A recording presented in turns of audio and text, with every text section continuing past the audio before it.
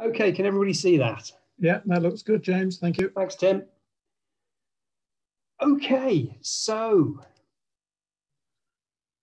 let's make a start.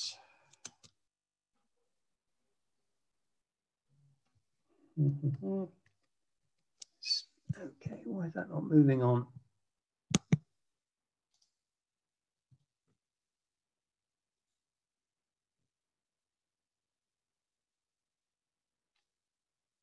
Data. My honours project um, when I was a student was to map seagrass beds in the UK. And uh, that involved not just mapping the beds, but also using fractal geometry to look at even the spatial patterns uh, on the actual blades of seagrass themselves. So I've always been fascinated by spatial data and mapping. And that really shouldn't surprise anybody because maps are full of really useful information. They contain uh, information on the, the identity, i.e. what are we looking at? Information about the location and distribution of things, quantity and area. And then when we start to overlap this spatial data, we can look at patterns of connectivity, proximity, and overlap. And they're basically the, the main concepts uh, for things like marine spatial planning. So before I move on, I'd like to quickly introduce some terminology that I'll be using throughout this presentation. So firstly, ground truthing. What do I mean by that? Well, normally that's in situ observations of the seabed. And they're normally provided by things like cameras or grabs or human observations. And they're normally maybe point data or transects. Now, ground truthing is really important because it ultimately forms the training data that we use in models to produce habitat maps. The second important phrase that we need to, to, to understand is, is remotely sensed data. Now, for marine habitat mapping, that can come from one of two sources. It can come from optical sources like satellite imagery or planes and, and drone images, or more commonly for deeper water or sort of turbid waters, we look more to use sonar, and that produces our remotely sensed surface. Now, this kind of information is really important because it typically provides the predictive variables we need to incorporate into a modeling technique to produce maps. A couple of other phrases so I might refer to bathymetry, which of course is just depth. And what we can do with depth, depth's an important predictive variable in any habitat map, but we can also use it to derive other variables that we call terrain variables. And so I'll, I'll talk more about those as we go on through the, through the presentation. Then we've got substrate, uh, perhaps more correctly, um, substratum. Um, and that's basically just the physical composition of the seabed, whether it's sand or coral um, or mud. Uh, and it's a really important basis for a lot of marine habitat mapping. And then finally, habitat. Habitat can have a bit of a, sometimes a bit of a loose terminology, but I'm going to take it to being the, the abiotic conditions that support a very characteristic, very distinct community of species. Right, so what's all the fuss? How hard can it be to map marine habitats when um, places like the, the moon, Mars, and Venus are so well mapped? And unfortunately, the, the headlines are true that um, we have better surface maps of these planets than we do of our own oceans. So areas of the moon, you know, potentially mapped to sort of a seven, seven meter resolution uh, huge areas of Mars, 60% to 20%, and Venus, majority of it to 100 meters.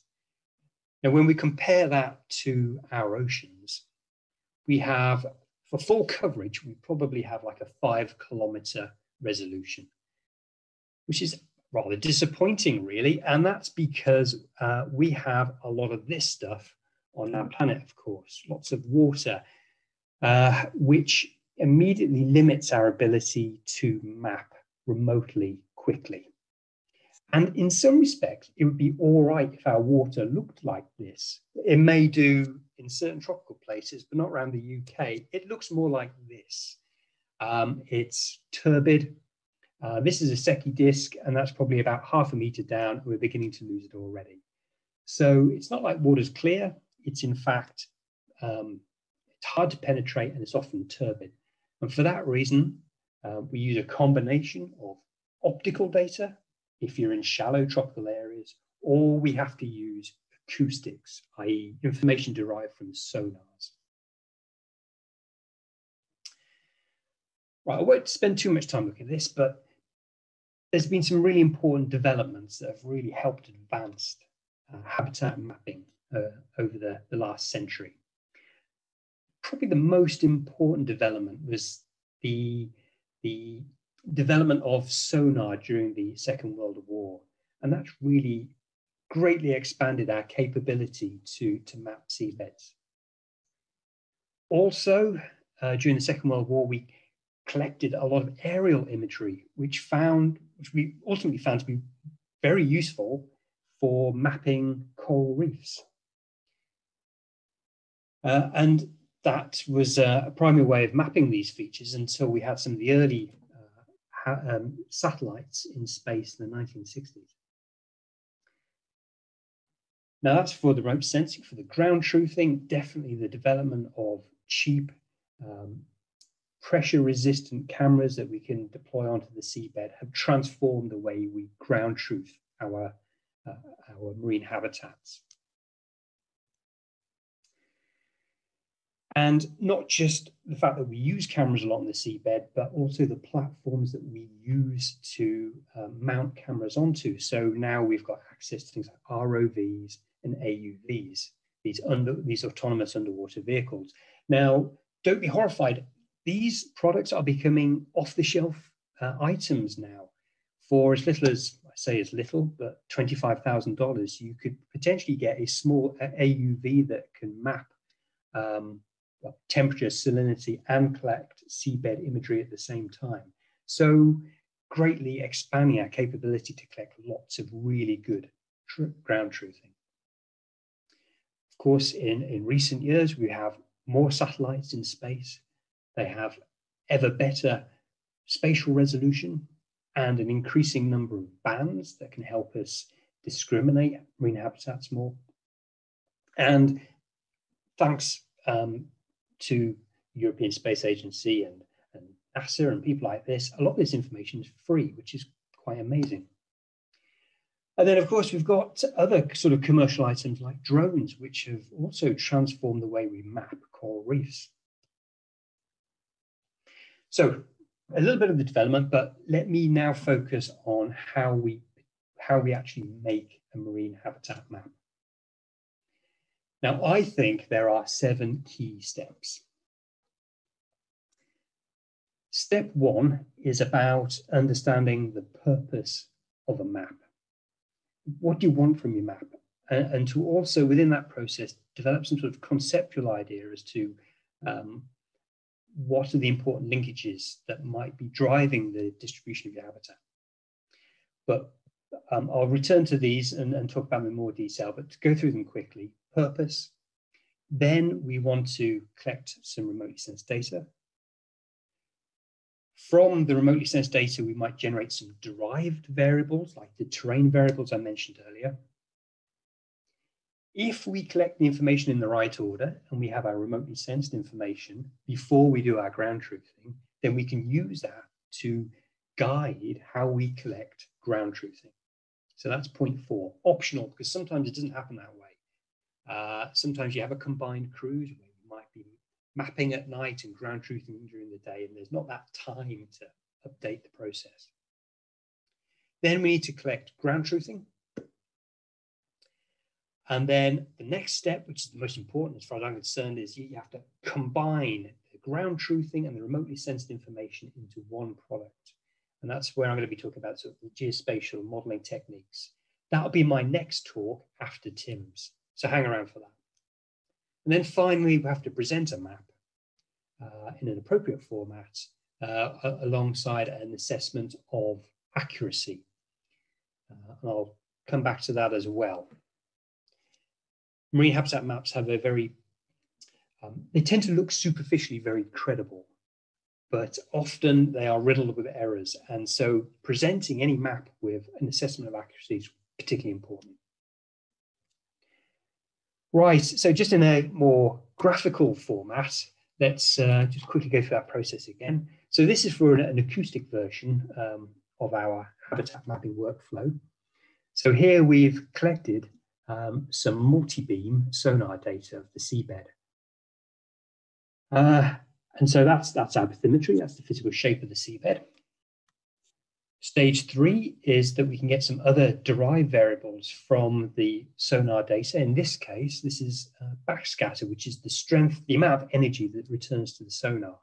And that's really useful for telling us a bit about the properties of the sediment, i.e. how soft or how hard it is. So we, from that, we can infer whether it's a sand, whether it's a rock or mud. Then, of course, uh, the, the, the important bit of collecting some ground truthing.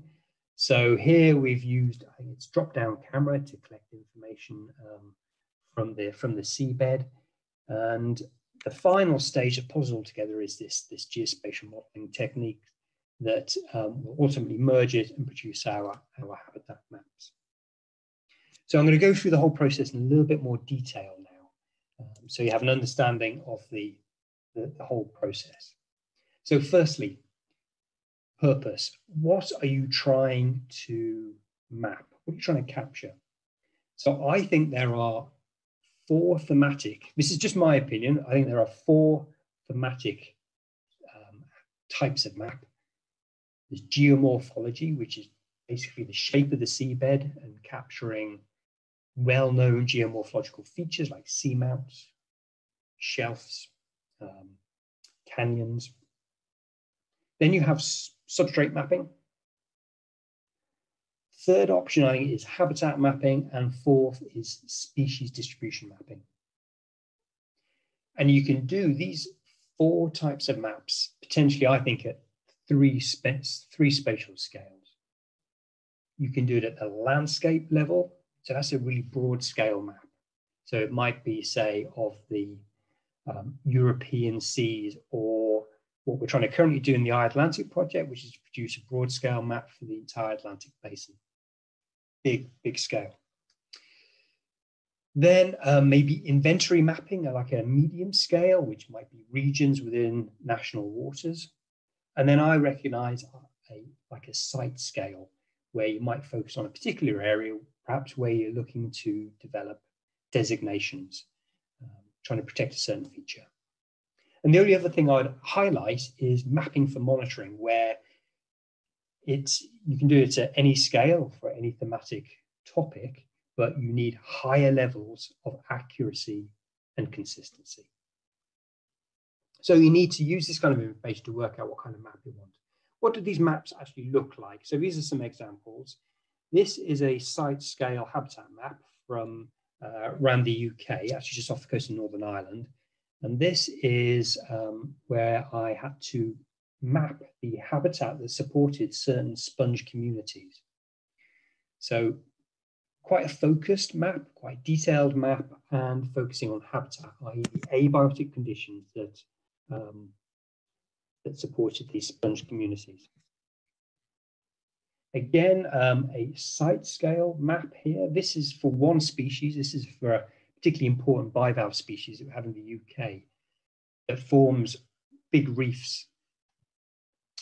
And um, I did some habitat mapping, some species distribution map mapping really, to look at its current distribution, but also hindcast previous uh, distributions uh, back in the 70s and 80s to see how this important bivalve had declined over time. Uh, apologize, the image is taking, there we go. It's there now, um, medium scale. Um, so this is for the Irish Sea, and this uh, is it's an essential fish habitat map that uh, I generated probably about 10, 15 years ago for cod. And uh, it's um, Again, it's a species distribution model, but at a regional scale. And then uh, again, for, the, for this really important bivalve that we have in the UK, I've also modeled it at the distribution of the UK. So I kind of think that's the broadest scale then, that's this kind of landscape uh, kind of scale. And I think this is an important example because it shows what you can start to do with habitat maps in that um, here we have the potential habitat for uh, this bivalve. And what I've then had to do is overlap it with a lot of human pressures and human activities to understand what is potentially overlapping that habitat and causing it to decline. So there's plenty of information there on uh, the activity of uh, fishing, aquaculture, wind farms, power cables, the lot. Right, so we've talked a bit about the purpose, the thematic topics, and the scale. What I think we'll talk about now is gathering remotely sensed data. Okay, and the first question is why do we really need to do this? And the, the obvious answer is we need data surfaces to produce habitat maps. So ground truthing, if you remember, often is point data. And we need some sort of surface where we can extrapolate that point data across a surface to produce a map. So remotely sensed data produces data surfaces, which we need for mapping. Remote sensing is also useful because, of course, it produces these derived variables, which I'll talk about more in a moment. The remotely sensed uh, variables that we collect and the derived variables are they're important proxies for many biologically uh, biologically meaningful habitat parameters. so, for example, uh, we might collect bathymetry, and from that we would extract um, aspect now, aspect is important because it determines the amount of hydrodynamic exposure that an animal might experience at that particular location, whether it's in the sheltered side of a slope or on the exposed side. And that's also important because the amount of hydrodynamic energy you experience can cause physical damage, but it also limits the or controls the amount of food that you receive. So many of these derived variables have very important biological um, connections, and that's why we need this information. And finally, um, these remotely sensed uh, surfaces are typically the most important information we need as predictive variables in our geospatial models. So, okay, so quick recap. Remote sensing comes from one of two sources. Um, if you're lucky to have shallow tropical waters, then you are you are able to use the optical techniques. For us around the UK, most of our water is too deep and too turbid. So we are limited to acoustic techniques, i.e. sonars. So I'll do a quick run through some of the methods that we use to collect acoustic information. One of the earliest techniques um, that you still find used is something called um, an acoustic ground discrimination system. And it's a single beam sonar that, as well as recording depth, also records things like the hardness of the seabed and the rugosity. It's about gaining extra information from that, that ping of sonar energy you get back at uh, your sounder. And these were very popular um, maybe about 15, 20 years ago and produced a lot of habitat maps. The other uh, acoustic technique you might hear about is side scan sonar, which produces almost sort of very beautiful photographic images of the seabed. As you can see going over this wreck. Um, and yeah, very high resolution, uh, very clear images, but often they don't come uh, with depth. So you get this image, um, but sometimes, typically, there's no depth information there. And because often they're towed bodies, their positional certainty is poor unless you're using a, a beacon of sorts. Without doubt, the, the workhorse when it comes to acoustics for marine habitat mapping is multi-beam echo sounders. Uh, so this is a, an example of a bathymetric surface collected with multi-beam. It's a sonar that fires a, a series of beams out in a fan under the ship as it moves, and it collects it at a very high frequency. So it's very easy to insonify very large areas quite quickly. As because it's of course all these things are acoustic methods, they're always in water sensors. So they're always mounted on ships, um, towed bodies, or AUVs. And what we typically get is bathymetry. Um, if it's um, maybe a multi-beam or a single beam method, um, backscatter from multi-beam, but of course um, that's the main product from side scan as well, but no depth. And from those we can get derived variables as well. Okay, so um, firstly, you don't always need to collect this information yourself. Um, this is just a small list of uh, online repositories where we have existing information, uh, existing surveys. So, and you can see that many of them are for the UK, but also for the overseas territories and for, well, global coverage really.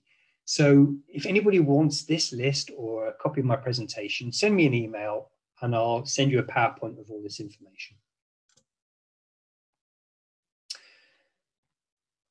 Okay, so as I said, if you're in shallow water that's clear, then of course you've got access to the optical techniques. And they, of course, come from things like satellite imagery, aerial imagery, and um, uh, and maybe yeah, from, collected from planes, but also from drones. Uh, lumped into this is LIDAR as well, which um, is a plane-based method for collecting shallow bathymetry. Uh, it's based on, on the, the return from two colors, two colors of laser. Uh, when you collect LiDAR, you typically also collect aerial imagery. So that's a particularly powerful method because it produces bathymetry and you get your imagery as well. So points to know about this, well, of course, um, often it's either, it's, it's mainly limited to surface or very shallow waters. Um, but if it is shallow enough, you can definitely capture seabed features. And this little image to the to the right here, uh, these are actually aquaculture, um, seaweed aquaculture facilities in, in Korea. Um, so beautiful image, and you can see things are very clear if it's shallow and um, and clear water. Uh, and thanks to the development of multispectral, hyperspectral sensors, we can get a lot of information from, from these sources. And one thing to, to note here actually is um, one of the recent developments, I suppose, is satellite-derived bathymetry. And courtesy of Tim Le Bas and Stephen Carpenter, who are also at NOC, we have two excellent talks on that on Monday. So if you're interested about how to derive bathymetry from imagery, then make sure you tune into both of those talks. So what makes a good remotely sensed data set? Well, some of these are a bit obvious, but we'll talk through it anyway. Clearly, the extent is sufficient to cover the area that you want to map. Secondly, is that the spatial resolution matches the, the, the, natural patchiness of the feature you're trying to map. This relates to something called the minimum uh, mapping unit. And it's, it's the spatial resolution where you can consistently detect the features that you, you, you need to detect. So if you know your seagrass beds are small and patchy, then you need to make sure that your spatial resolution of your remotely sensed data is sufficient to capture that. Um, Tim's definitely expert on, on processing acoustic information, but there are plenty of processing choices you have to make whilst you're, you're dealing with the raw data. And you've got to be able to um, optimize these, but also justify them. Ideally, any remotely sensed data set would have um, would be free from survey artifacts because one of the most frustrating things when you are trying to run a geospatial model is that they will quickly, especially if they're unsupervised, will pick up on survey artifacts. So ideally, you want a good quality data set. And of course, as with all your data sources, it's quite important to understand its quality. So I'd always recommend that your remotely sensed data has some sort of standalone assessment of accuracy itself. Again, um, you don't have to um, own uh, your own plane, your own satellite for this. Um, of course, things like Hyperion, um, Sentinel-2, all this information is freely available online.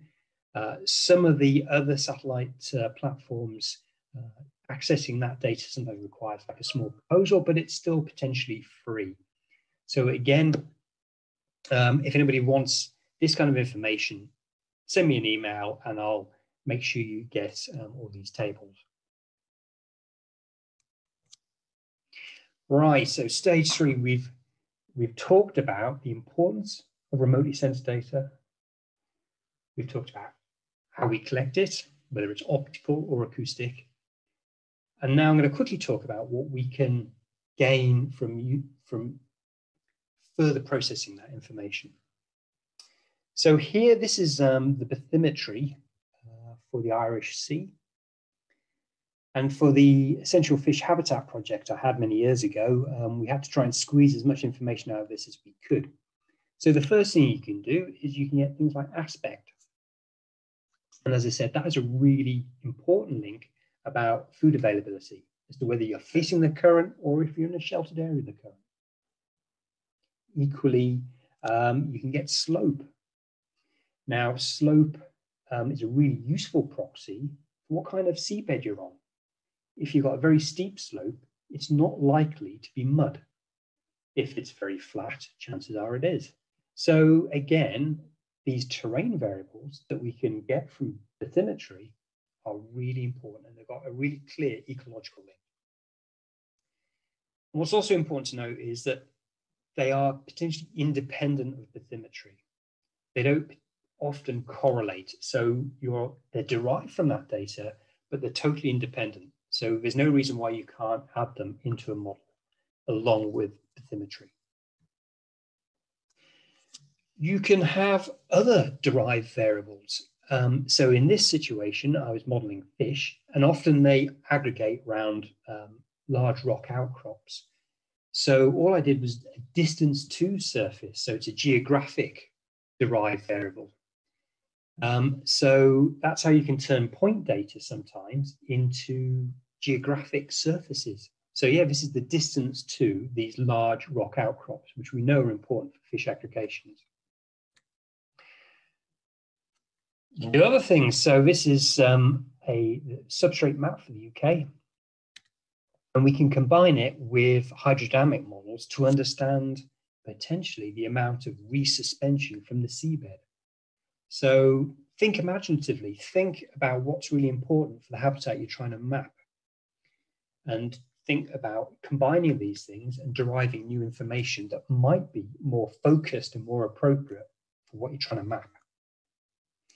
Equally, you can do the same thing for remote, uh, well, for satellite uh, imagery. Um, it's not much use in the UK except for surface conditions because we have such turbid water. Um, Secchi depth might be about um, two to three meters. So LiDAR may penetrate something like um, five max five meters typically, um, and we certainly can't directly image many things from space. Um, but so yeah, here we took sea surface temperature and chlorophyll and calculated the, the oceanographic fronts that we have in the Irish Sea. And once again, if I wanted to use that in a model, what I would do is a distance to those fronts so that I can convert line data into surfaces. And again, that's a derived variable. Now then, if, as I said, we get these things in the right order, then we have the potential to use the remotely sensed data to help us guide how we collect ground truthing data.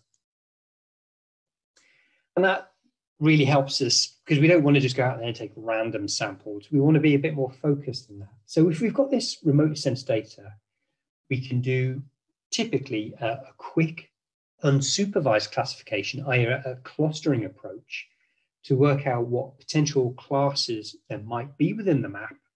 And then we can use those as strata to focus our ground truthing. There's nothing wrong with random sampling, but sometimes if you have small rare habitats, you're likely to miss it. So if you have the ability to process your remotely sensed data before your ground truthing, then you'll get more focused ground truthing campaigns. Right, okay, so that's enough about remote, remotely sensed data. Uh, I'm quickly going to talk about ground truthing. So firstly, why do we do it? Well, it is it provides the independent and unambiguous confirmation of what we're seeing in remotely sensed data. It's also really important because it helps us enrich the classifications that we produce in the end, either map classes. So from space or from acoustic sources, we might see that we are dealing with a seagrass patch. But if we ground truth it, we can start to understand things like what species is present, density, condition, uh, and other associated species with the seagrass. So ground truthing helps us also enrich the map classes that we might ultimately report. The ground truthing is also used as the, the training data for the models that we're going to look at in my second talk. Okay, so how we, the information that we collect through ground truthing dictates the map classes ultimately. So it's very important that we collect ground truthing uh, for that purpose. And the final really important sort of value um, and reason to collect ground truthing is that it can be used to validate our maps. So earlier I mentioned that, of course, we really need to be able to convey to people who use our maps the actual accuracy of them. And for that, we need validation data, something independent that hasn't been used to train our models. And again, ground truthing provides that. So um, what kind of equipment do we use to ground truth? Well, um, for sediments, for actually collecting samples, we might use grabs or corers. So this is very important for substrate mapping when we need to collect samples for particle size analysis. We can potentially classify seabed composition using cameras, but they're a little bit unreliable. So often cameras, it's very hard to distinguish fine sands, muddy sands, sandy muds, muds. Very difficult. So we use grabs and corers to collect sediment and also to collect infauna that live within the, the sediments themselves. Dredges and trawls have been the traditional way of um, uh, looking at fish, uh, fisheries.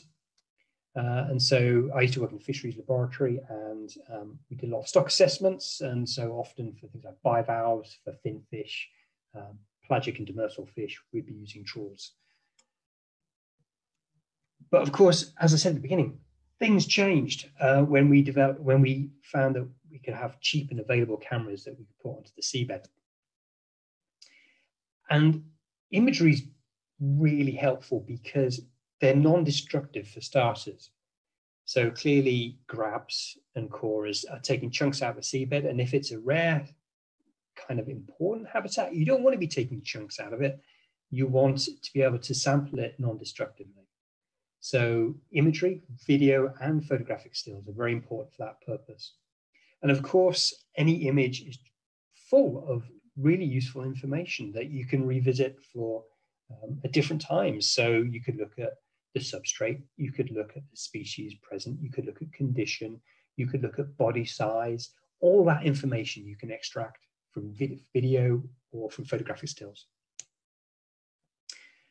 And of course, we've got a variety of platforms that we can strap these cameras onto. So we have simple systems like drop-down cameras.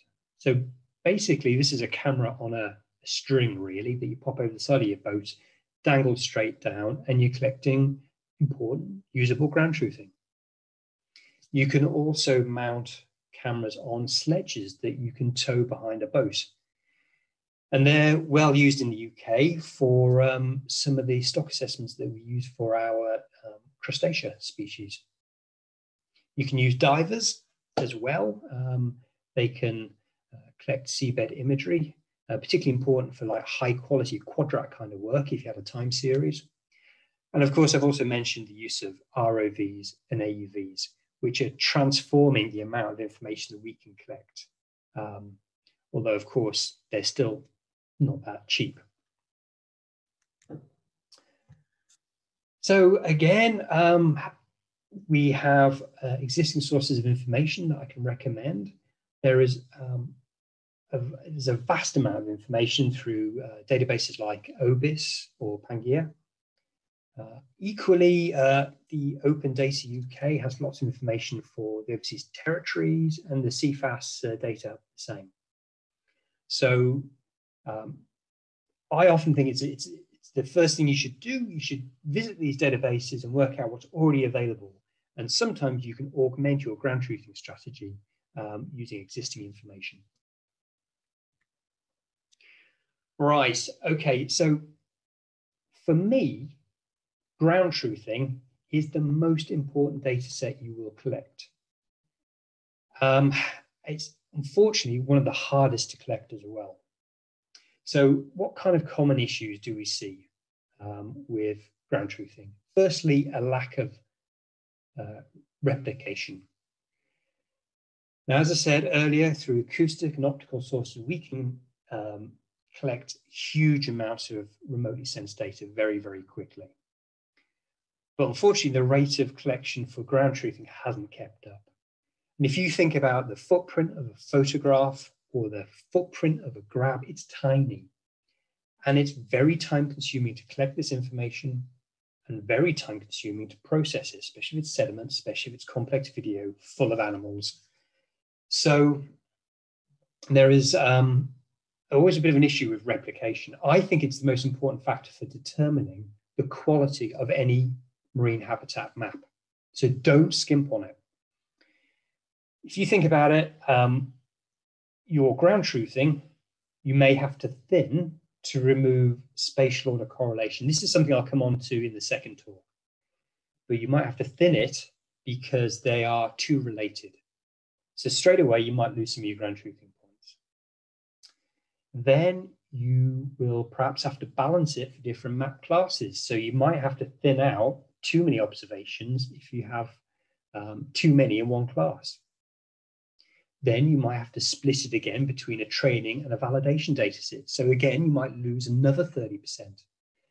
And then depending on what mapping, uh, what modeling process you use, if it's using a bootstrapping process, which I'll just explain later, it may again withhold even more ground truthing.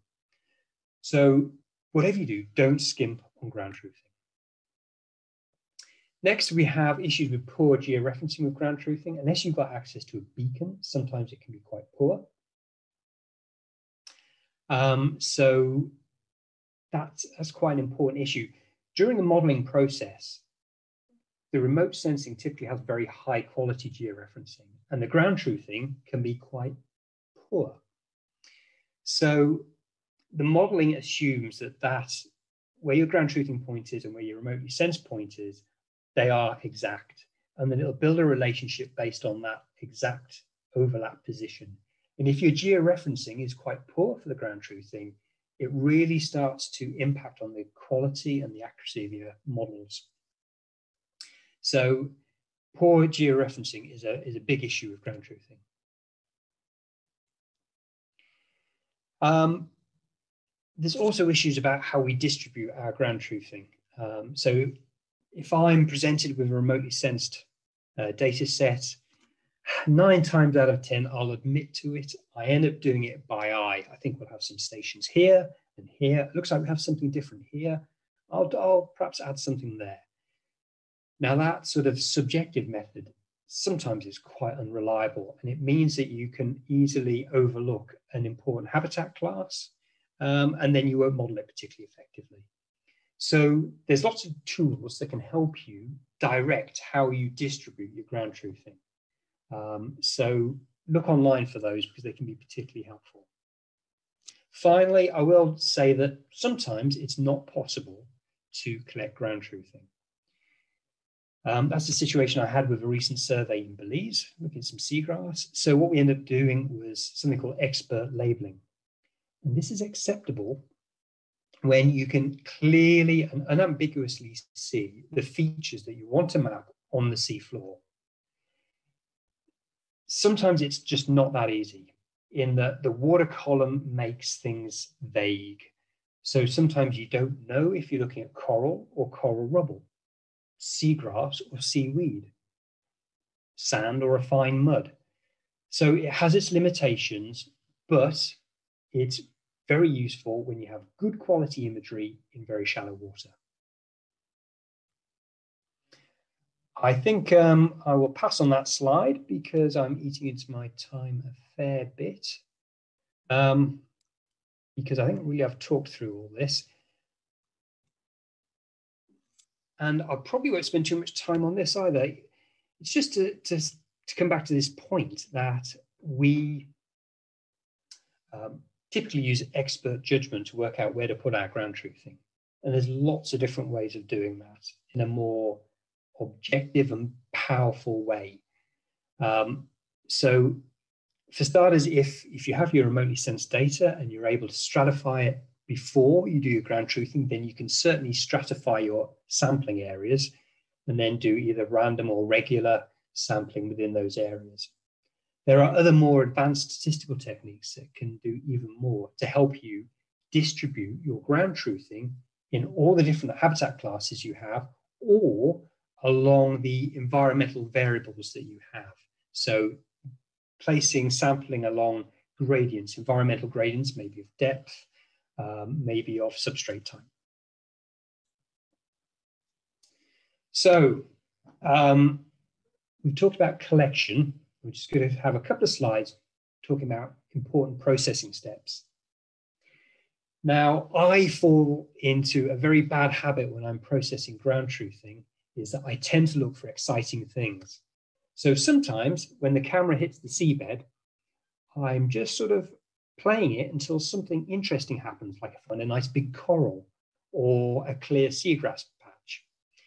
Now, I think that's bad practice. And my rule really for processing ground truthing is when the camera hits the seabed, that is my sample, regardless of whether there's a really interesting coral reef just 10 or 15 meters away. When I hit the seabed, that is my sample. That keeps things more objective and it prevents that kind of uh, temptation to look for more interesting things. You still take notes about them, but it's best to be quite rigorous about this process. And also, if if it's a drop down system or a small ROV that you're driving down from a, from a boat or a ship, the first point of contact on the seabed is likely to have the best georeferencing as well. If you wait five minutes to travel to a, a, a small coral outcrop, chances are the boat has drifted or the ROV has moved. And therefore, your georeferencing is going to be poor. So my recommendation is you hit the seabed and that is your sample. Um, and also what's really helpful is as you go through your ground truthing for each station, make a note about things like visibility or camera stability, because sometimes uh, you might get to a point where your models aren't performing very well and you might want to remove poor quality ground truthing and if you've got data flags for that, they're easy to remove and then rerun your model. What else? I think when it comes to mapping in general, you've got to be realistic about what you can detect acoustically or optically and what you're measuring in your ground truthing. Now, I am often tempted when it comes to substrate mapping to do classes like fine sand, muddy sand, sandy mud, mud. But I know the acoustics can only really separate maybe sand and mud reliably. So just think about what kind of information you're collecting from your ground truthing. Make sure it's it's, it's realistic to be able, for a model to be able to separate those classes based on your remote sensing. Good practice was also include things like getting a, a voucher image library going as you're, as you're processing your imagery. So if you find, I think this is sparse seagrass, take a picture of it, a screen grab, and keep it in a library so that you can tell other people or show other people what you mean by um, good quality coral, um, small community of soft corals, something like that. Also, best practice is to get an independent check of your ground truthing processing in-house. So routinely, I will ask somebody else to repeat 10% of my work and to make sure that the consistency is there. Because of course, this is a lot of it done by eye. There's plenty of software to help you do it in a more quantitative and objective way, but even then, um, there's an element of interpretation. So I can thoroughly recommend these kind of in-house QA checks. Now, the final thing I want to talk about just is uh, habitat classification schemes. so when we're looking at our ground truthing, um, we might report things like coral, seagrass, uh, bivalve bed, sponge aggregation. And what we need to be is consistent about how we label these things. And that's what habitat classification schemes provide.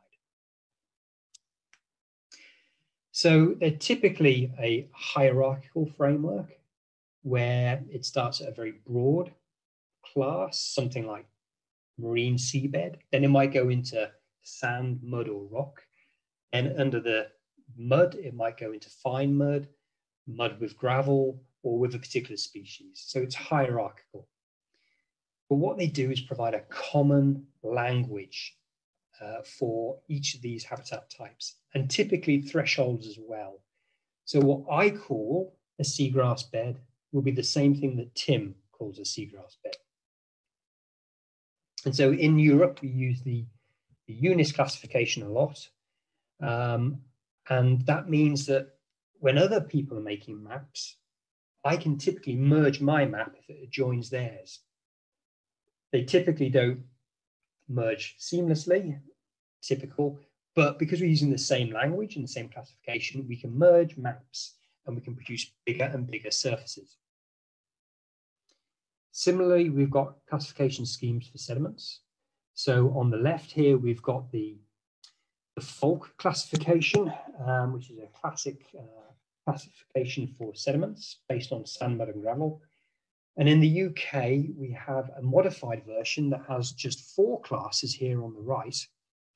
And that's more for camera work because we really can't discriminate sediments particularly well in cameras. They're using imagery.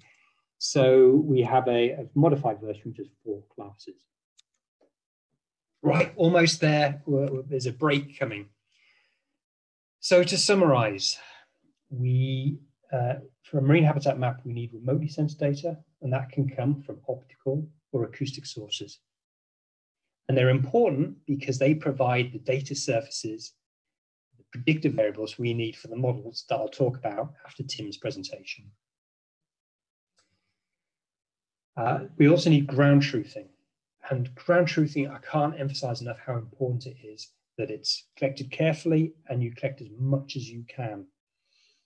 And that is used to train the models and provides our the, the, the labeling for our habitat maps eventually. And the process that combines remote sensing and ground truthing together are geostatistical techniques, which I'll describe in my second talk. Last slide, um, and it's a couple of important points. First thing is habitat maps have a tendency to look very credible. I think we're hardwired as humans sometimes to believe maps, but always be um, a little bit careful when you're dealing with maps. People will take any map and they will believe it. So make sure that whenever you provide a map, you provide an assessment of accuracy as well, so that they can understand what that map is fit for. Can it be used for monitoring? Can it be used for site designation? Can it be used for marine spatial planning? Um, for deeper water, we are typically mapping suitable habitat, not necessarily realized habitat. So what do I mean by that? The modeling will look, for, will take ground truthing points and look to find similar conditions that are associated with ground truthing points. Now, sometimes these, these are kind of like invisible combinations of parameters like slope, aspect, and depth. It's not like a big dark patch you might find on, a, on an image that would be indicative of coral or seagrass. And so what we're actually mapping is suitable habitat in some of these situations. And we're not always too sure that it's necessarily occupied by the species of interest. Quite a difficult um, concept to understand, um, but something that's, that's quite important because sometimes people go back, use your map and say, I couldn't find the coral, the deep coral reef that was on your map. And you say, well, I've mapped suitable habitat. I haven't necessarily mapped um, all the areas that are actually occupied. There's lots of good reasons why species don't necessarily colonize the entire seabed. Sometimes they can't get to it. Sometimes human pressures remove things. Sometimes they're outcompeted. Lots of reasons. And I think I am going to leave it there because I'm sure everybody's ready for a toilet break and a cup of tea. So at that point, I'll thank you for your attention. Um, I will be about, I will gladly answer questions in the chat if you have them. And at probably about um, five o'clock, I'll be back to do another presentation about geostatistical techniques. So thank you very much. So thank you, James. That's that's really good. Uh, I have got one question for you just before you, we disappear.